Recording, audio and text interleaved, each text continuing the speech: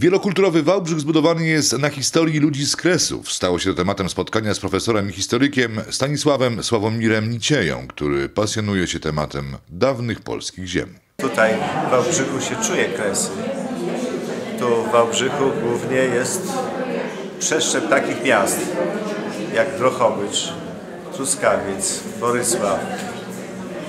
I właściwie to dzisiaj te miasta, Borysław i Wałbrzych są zaprzyjaźnione, wymieniają kontakty.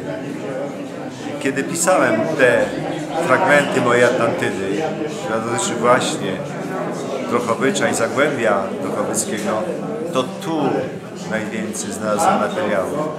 Tu znalazłem unikatowe zdjęcia, które są w szufladach już wnuków dzisiaj, tych, którzy tu przyjechali w 1945 roku. Stanisław Nicieja opowiadał o procesie powstawania nowej książki Kresowa Atlantyda, historia i mitologia miast kresowych.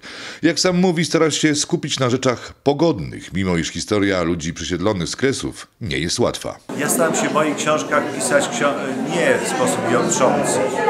Ostatnia wojna i wcześniej straszliwie podzieliła ludzi mieszkających na Kresach.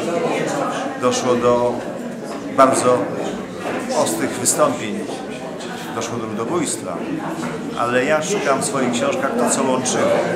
I głównie piszę o pracy organicznej, to znaczy o tych, którzy budowali zakłady pracy, szkoły, biblioteki, świątynie, którzy no, tworzyli materialną substancję tego świata. Spotkanie obfitowało w anegdoty dotyczące ludzi mających wpływ na obecny kształt Polski, nie tylko ten geograficzny, ale i mentalny. Ta ziemia była płodna w talenty. Osobowości tych ludzi no, bardzo mocno się zaznaczyły, stąd w moich książkach jest dużo rzeczy pogodnych, dużo anegdot, bo wiem, że najbardziej człowieka utrwala w historii jakaś przypowieść, jakieś zdarzenie, jakiś wyróżnik.